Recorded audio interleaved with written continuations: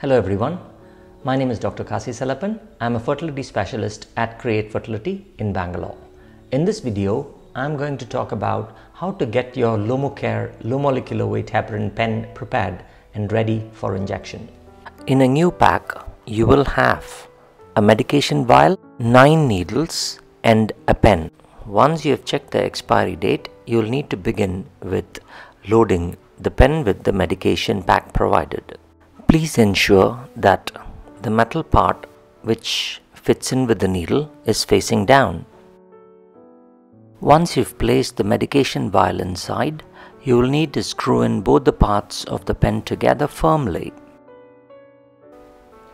Now, you will need to pick up a needle and remove the cover on the rear so that the needle is exposed and you will need to turn it in firmly until it's secured tight there is also another needle guard underneath the cover for your safety. Using the knob on the back of the pen, you will need to turn to the appropriate dose prescribed by your physician.